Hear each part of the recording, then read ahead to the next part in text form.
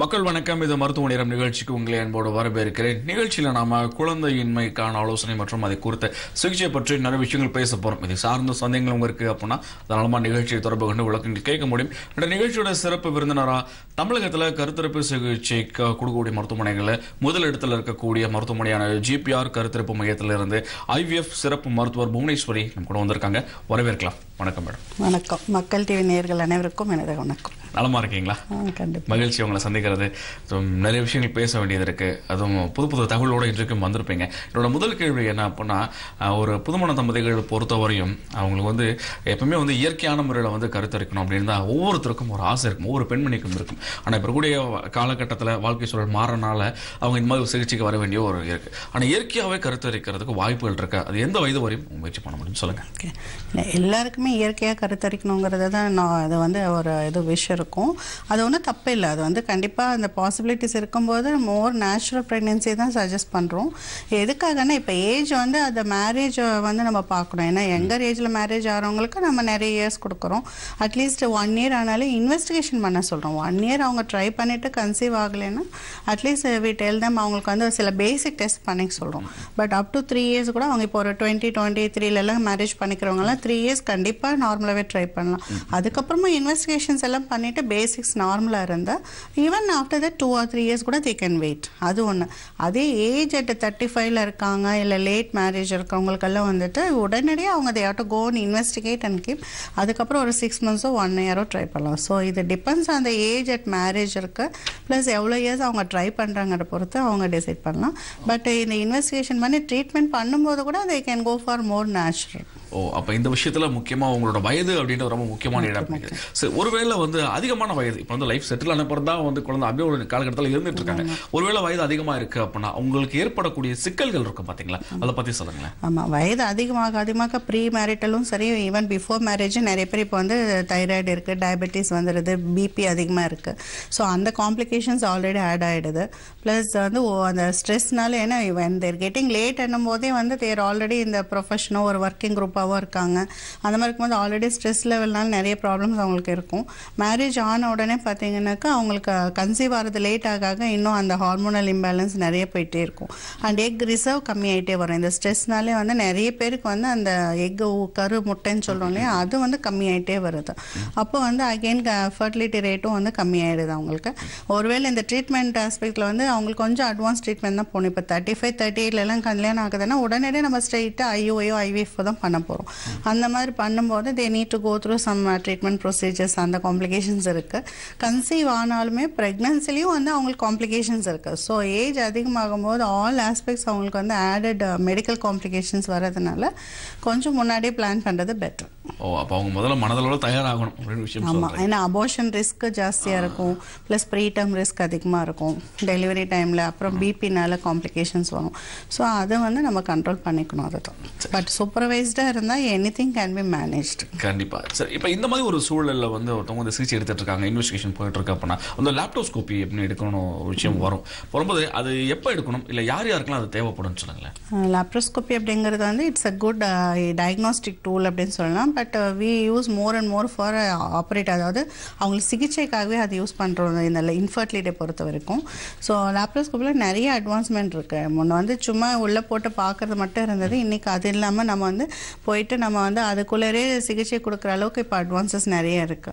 So அது பார்த்தீங்கன்னா இப்போ ஒரு two years three years try பண்ணுறாங்க எல்லா இன்வெஸ்டிகேஷன்ஸும் நார்மலாக இருக்கு. அதுக்கப்புறமா அவங்க கன்சீவ் ஆகல அப்படின்னும் போது we have to go inside நமக்கு தெரியாமல் ஏதாவது உள்ள வந்து டியூப் ஏதாவது ஒட்டி இருக்கா எண்டோமெட்ரோசிஸ் அப்படிங்கிற ஒரு கண்டிஷன் இருக்கும். அது ஏதாவது வந்து நமக்கு தெரியாமல் இருக்கலாம். ஏன்னா அது லேட் ஸ்டேஜில் தான் கண்டுபிடிக்க முடியும். ஆனால் லேப்ரோஸ்கோப்பில் ஏர்லி ஸ்டேஜில் கண்டுபிடிக்க முடியும். அந்த மாதிரி அட்வான்டேஜஸ் நிறைய இருக்கு. அண்ட் சில பேருக்கு வந்து டியூப் பிளாக் இருந்தால் நம்ம டியூப் பிளாக் எடுத்து விடலாம்.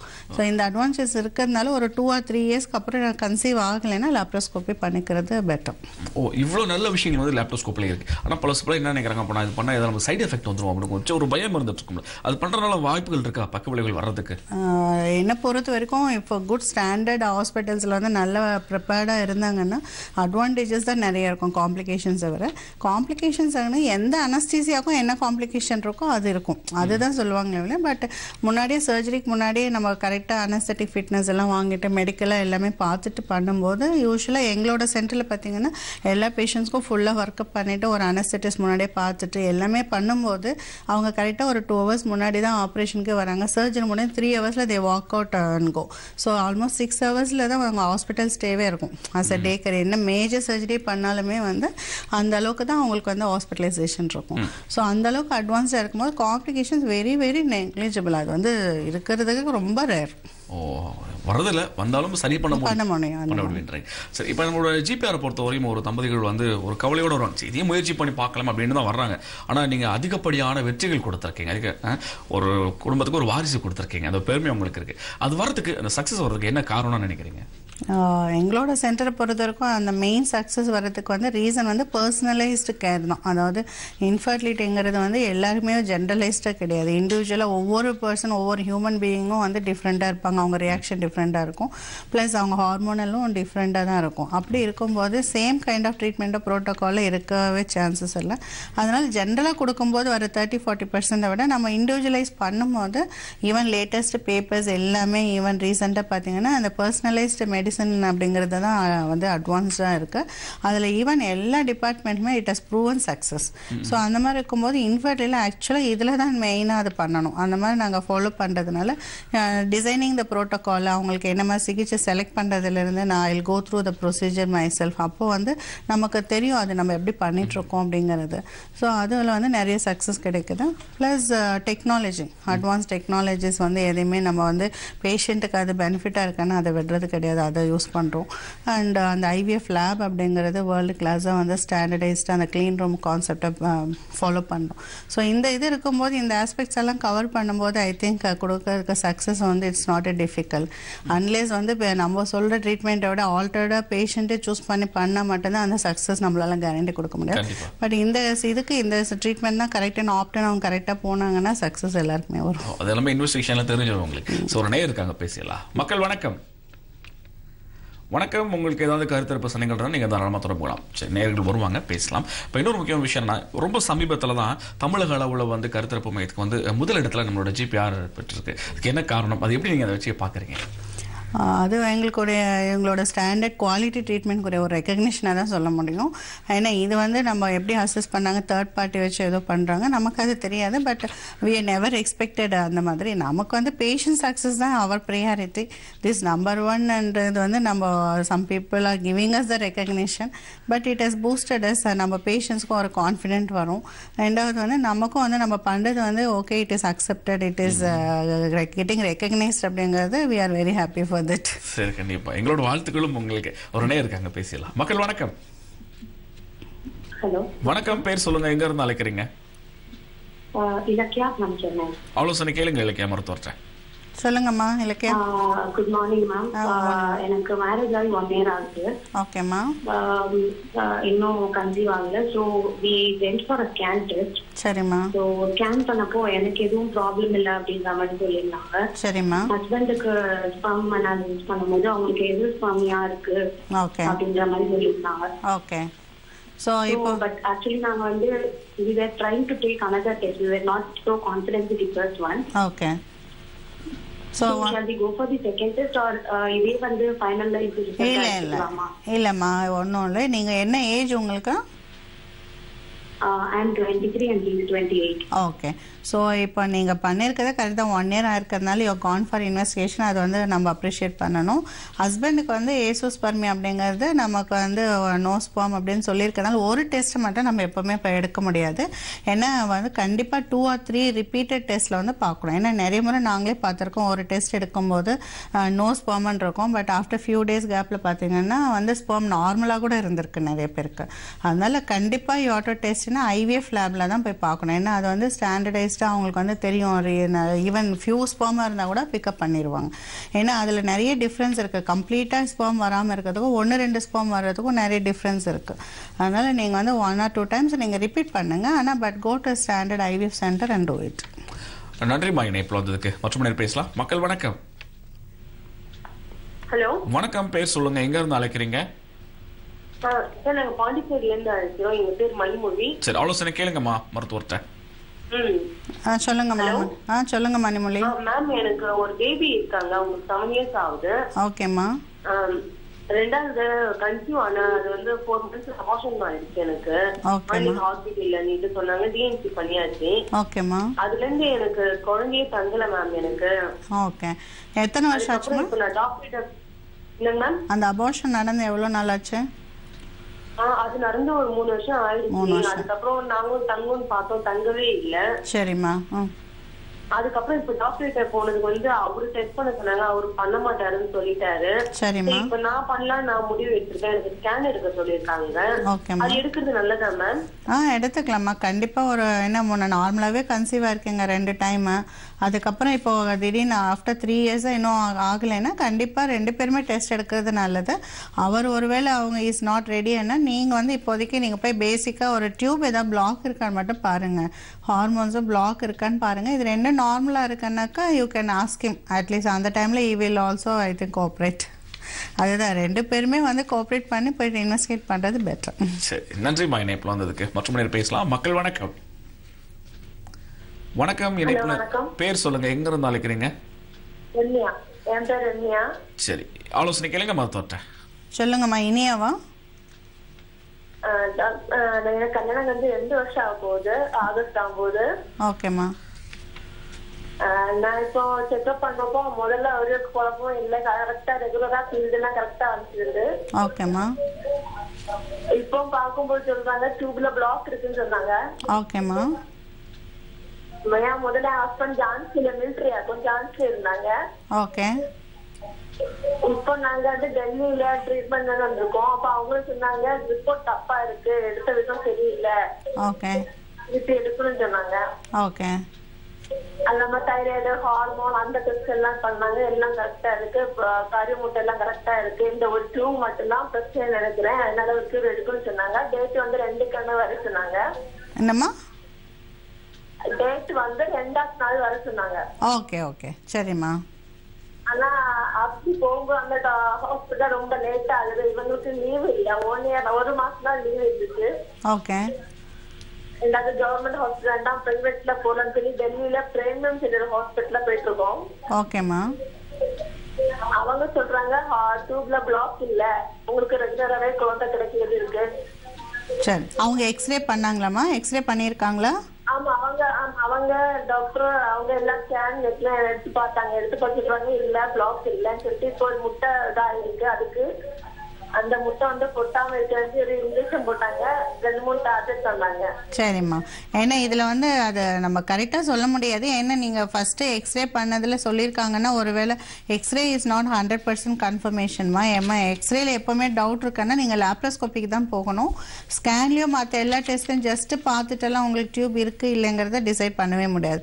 எப்போ டவுட் வந்துருச்சோ எக்ஸ்ரேல வந்து பிளாக் மற்ற எல்லா டெஸ்ட்டும் நல்லா இருந்து கன்சீவ் ஆகலைன்னா ஒருவேளை இருக்கலாம். ஆர் சம் இன்ஃபெக்ஷன் கூட இருக்கலாம். அதனால் டவுட் இருந்தால் நீங்கள் லேப்ரோஸ்கோப்பி பண்ணிக்கோங்க.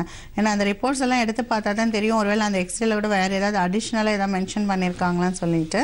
அந்த மாதிரி இருந்ததுன்னா லேப்ரோஸ்கோப்பி பார்த்தா கிளியராக தெரிஞ்சிடும் அதே டைமில் நம்ம பிளாக் இருந்தால் கூட அதை ரிலீஸ் பண்ணிடலாம் ஸோ லேப்ரோஸ்கோப்பி போகிறது பெட்டர் அவங்களுக்கு. சரி. நன்றிம்மா இணைப்பில் வந்ததுக்கு மற்றும் நேரம் பேசலாம். மக்கள் வணக்கம். ஹலோ. வணக்கம். பேர் சொல்லுங்க. ஆ நான் கார்த்திகா சென்னையில இருந்து பேசுறேன். ஆலோசனை கேளுங்க கார்த்திகா. மருத்துவர் இருக்காங்க. Good morning ma'am ah good morning சொல்லுங்க கார்த்திகா. ஆ மேம் எனக்கு ஆக்சுவலா மேரேஜ் ஆகி ஃபைவ் மந்த்ஸ் தான் மேம் ஆகுது. ஓகே. ஆனா வீட்ல வந்துட்டு ரொம்ப ப்ரெஷர் பண்றாங்க. இன்னும் பேபி இல்ல அப்படிங்கிற மாதிரி. நாங்களும் அந்த ஓவல்யூஷன் கால்குலேட்டர்ல அந்த டேட் எல்லாம் பார்த்து அப்படியுமே இருந்துமே இன்னும் நான் கன்சீவ் ஆகல.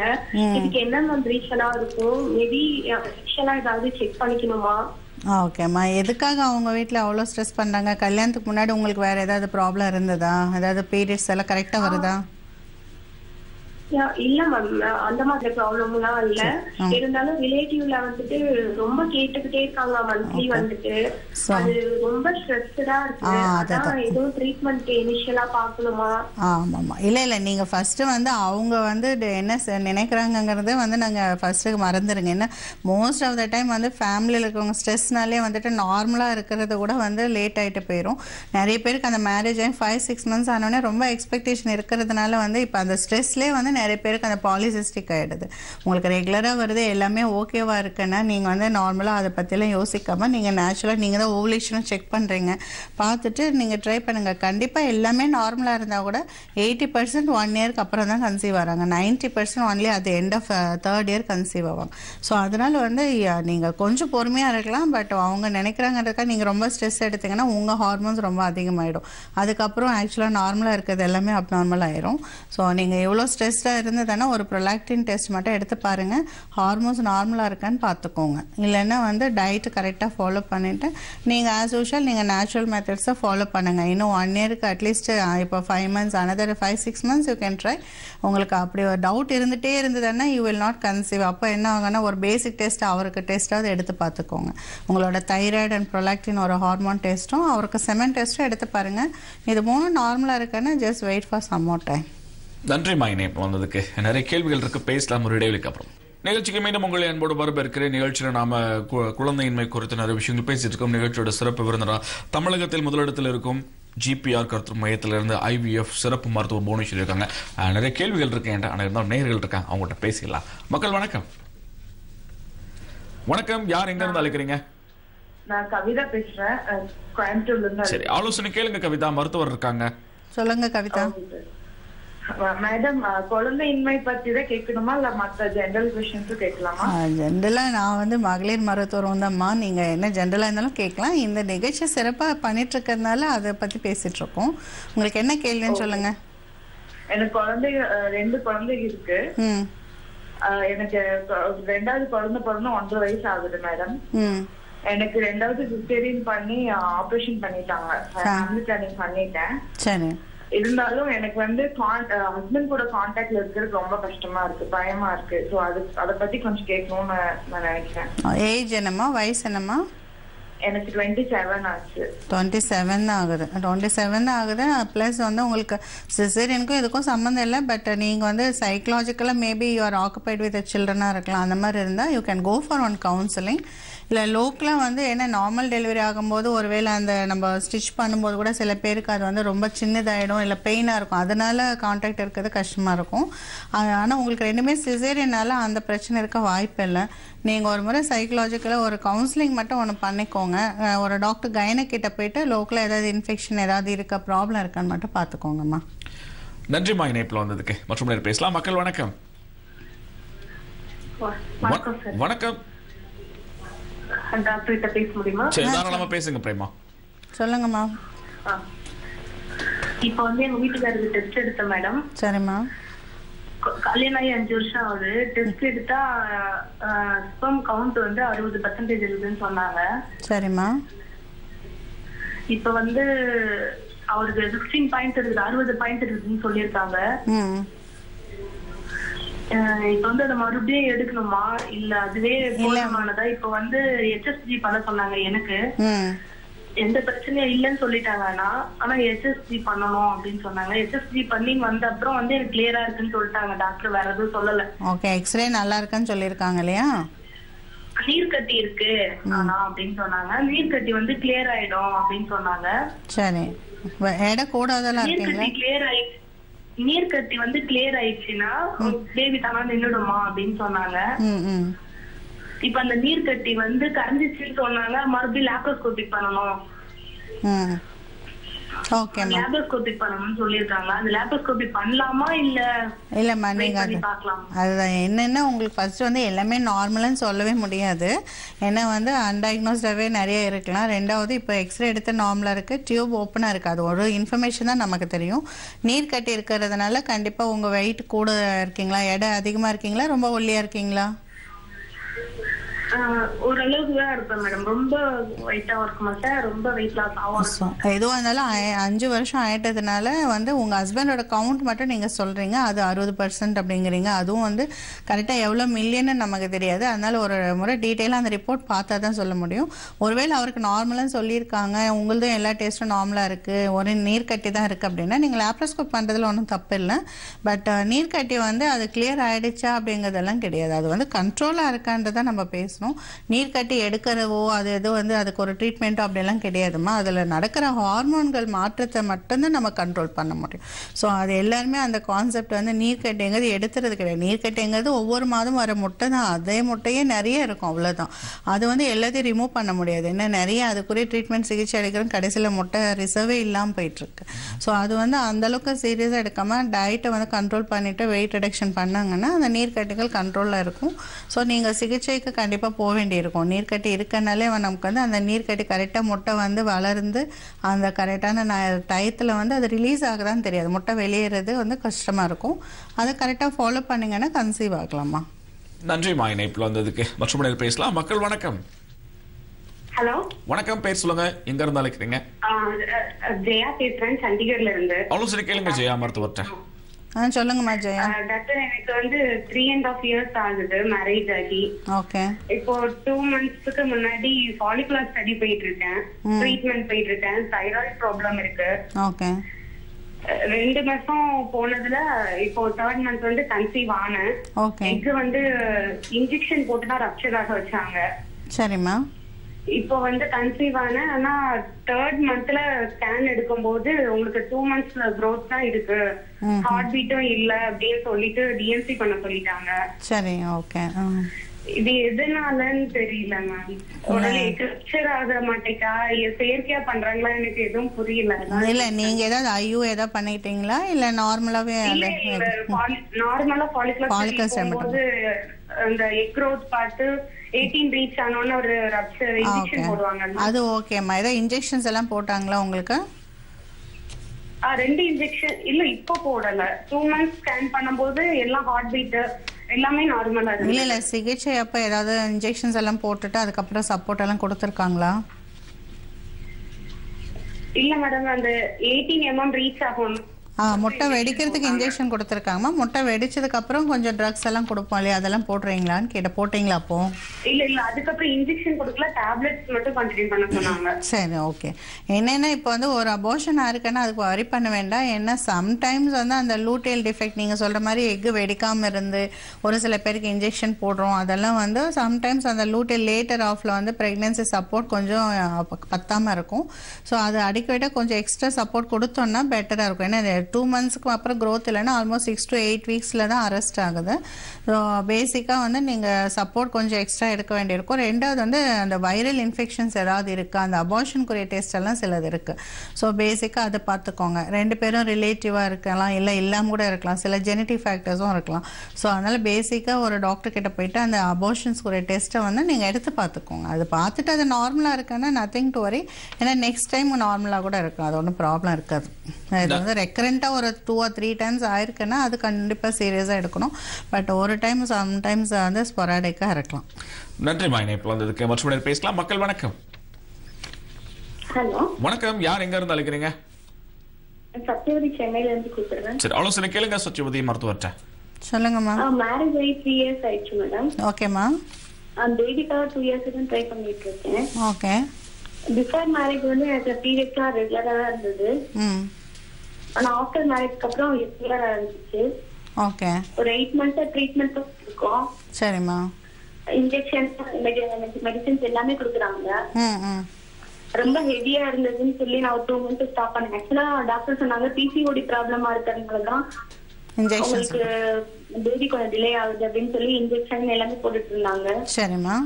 அவங்க கொடுக்குற மெடிசனும் அந்த இன்ஜெக்ஷன் எனக்கு வந்து அதுவே ரொம்ப ஸ்ட்ரெஸ் ஆகுற மாதிரி ஃபீல் ஆகுது சரிம்மா ஓகே ஸோ ஸ்டாப் பண்ணி இப்போ டூ மந்த்ஸ் ஆகுது. பட் பீரியட்ஸ் வந்து twenty five days twenty six days வந்துருது எனக்கு. ஓகே ஓகே என்ன என்ன ரீசன்னால எனக்கு இப்படி இருக்கு? நெக்ஸ்ட் நான் என்ன பண்ணணும்? Okay okay. இல்லைம்மா பாலிசிஸ்டிக் ஓவரி இருக்கும்போது வந்து அவங்க அதனால் இன்ஜெக்ஷன் கொடுத்துருப்பாங்க. பட் அதனால் ஒன்றும் ஸ்ட்ரெஸ் ஆகிக்க வேண்டாம். ஏன்னா சம்டைம்ஸ் அந்த இன்ஜெக்ஷன் போட்டதுனால ஒன்றுமே இல்லை. அது நமக்கு எண்டோஜினஸாக நமக்கு என்ன ஹார்மோன் டெஃபிஷியண்டாக இருக்கோ நம்ம அதை தான் இன்ஜெக்ஷனாக கொடுக்குறோம். ஸோ அது யூஸ்வலாக ஒன்றும் பெருசாக சைடு எஃபெக்ட் வராது. அன்லேஸ் நம்ம அந்த ஓவர் ஸ்டிமுலேஷன் ஆகும்போது சில காம்ப்ளிகேஷன் நீர் கட்டி இருக்கிறவங்களுக்கு வரும். பட் அது சூப்பர்வைஸாக பண்ணும்போது அதனால் ப்ராப்ளம் இருக்காது.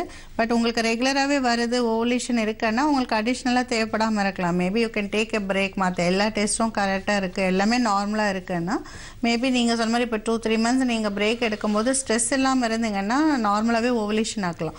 இந்த இயர்லியராக பீரியட்ஸ் வர்றதுக்கு அதே காரணம் தான். ஒருவேளை வந்து ஓவர் ஸ்டிமுலேஷனால எக் வந்து சீக்கிரமாக ரப்ச்சர் ஆகிருக்கலாம் ரப்ச்சர் ஆகும்போது உங்களுக்கு சைக்கிள் கொஞ்சம் இயர்லியராக வரும். ஆனால் டுவெண்ட்டி ஒன் டேஸ்க்கு முன்னாடி வந்தால் தான் அது ப்ராப்ளம் பட் அதுக்கு டுவெண்ட்டி ஃபைவ் டேஸில் வரது ஒன்றும் ப்ராப்ளம் இல்லை. நார்மல் தான்மா நன்றிமா இணைப்பில் வந்ததுக்கு. இப்போ நீங்கள் சில நேரத்தில் பேசும்போது அவங்க விஷயம் பேசும்போது எனக்கு ஒரு விஷயம் என்ன புரிஞ்சது அப்படின்னா அடிக்கடி நீங்கள் சொல்றது ட்ரஸ்ட் அப்படின்னு சொல்லி மன அழுத்தம். அப்புறம் வந்து உடல் பருமன். இது இரண்டுமே வந்து குழந்தையின்மைக்கு வந்து ஒரு காரணமா இருக்கும்? ஆமாம் ஆமாம் கண்டிப்பாக இப்போ ஏன் நமக்கு வந்து நீர்க்கட்டிகள் முன்னெல்லாம் வந்து டியூபல் இன்ஃபெக்ஷன்ஸ் அப்போல்லாம் வந்து தடுப்பு சக்தி இல்லாமல் இருந்தது இன்ஃபெக்ஷன்ஸ் நிறைய இருந்தது. இப்போ ரொம்ப மாடர்ன் ஆக ஆக நம்ம லைஃப் ஸ்டைல் எல்லாமே சேஞ்ச் ஆகிட்டு வருது.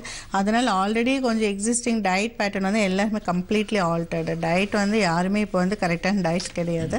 ஸோ அதனால் வந்து ஒபிசிட்டி ஆல்ரெடி போயிட்டுருக்கு. இந்த ஒபிசிட்டி டயட் இது ஆட் ஆகும்போதே நார்மலாகவே ஹார்மோன்ஸ் எல்லாமே சேஞ்ச் ஆகிட்டு வந்து ஹைப்போதைராய்டிசம் எல்லாருக்கும் ஹைப்போதைராய்டும் இருக்கிறதுனால அதுலேயும் வெயிட் ஆட் ஆகுது. ஸோ அப்போ வந்து அவங்களுக்கு ஆல்ரெடி பேசிக்காகவே உடல் பருமனும் ஹார்மோனும் சேஞ்ச் ஆகி தான் இருக்குது அந்த ஸ்டேஜில் என்ன இருந்ததுன்னா கொஞ்சம் அதை கான்சன்ட்ரேட் பண்ணி பண்ணலாம். பட் அதுக்குள்ளே என்ன இருந்ததுன்னா இவங்க ஆடிங் அந்த ஸ்ட்ரெஸ் வேறு ஆட் ஆயிடுது. அவங்களுக்கும் தெரியுது. ஏன்னா வி ஆர் ஆல்ரெடி ஒபீஸ் நமக்கு இந்த மாதிரி சேஞ்ச் ஆகுதுன்னு தெரியும் போதே they're already going to stress so marriage ஆன உடனே வந்து எல்லாருக்குமே வந்து இந்த இது ஆரம்பிச்சிருது. ஆர் எனி ட்ரீட்மெண்ட் ஸ்டார்ட் பண்ணும்போது சில பேர் வந்து ஒரு ஃபைவ் இயர்ஸ் சிக்ஸ் இயர்ஸ் கூட கூலாக சரி நார்மலாக இருக்கலாம்னு இருப்பாங்க. பட் அந்த ட்ரீட்மெண்ட் ஸ்டார்ட் பண்ணும்போது வந்து ரொம்ப ஸ்ட்ரெஸ் ஆகிடுவாங்க அதிகமாகிடும் அந்த மாதிரி இருக்கும்போது அவங்களுக்கு more and more they need more counselling தான். அந்த ஸ்ட்ரெஸ் கம்மி பண்ண ஆட்டோமேட்டிக்காக இது பண்ணலாம். அது ஸ்ட்ரெஸ் ஆக அகைன் டிப்ரெஷனில் என்ன பண்ணுவாங்க? Over eating again obesity increases so இது ஒரு சைக்கிள் மாதிரி ஆகிட்டே வருது. ஸோ அதனால நிறைய ப்ராப்ளம்ஸ் வருது. So once they reduce the ஸ்ட்ரெஸ்ஸை டயட் நீ கரெக்டாக எடுத்தாங்கன்னா இட் வில் பி சால்வ்